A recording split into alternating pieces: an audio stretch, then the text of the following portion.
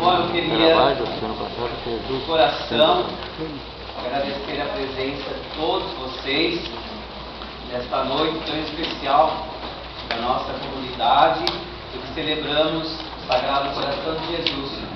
Então, agradecer à comunidade da Mina do Mato, que trouxe a imagem do coração de Jesus até a nossa comunidade. Muito obrigado de coração a vocês.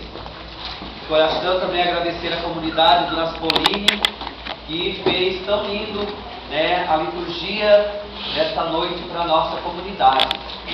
E agradecer, né, especial a cada um, cada uma de vocês que veio nesta noite aqui celebrar com a gente, e todos aqueles que de uma forma ou de outra colaboraram com essa nossa festa, com esse nosso evento em prol da reforma da nossa capela, que ainda não está pronta, mas que a gente vai terminar se Deus quiser.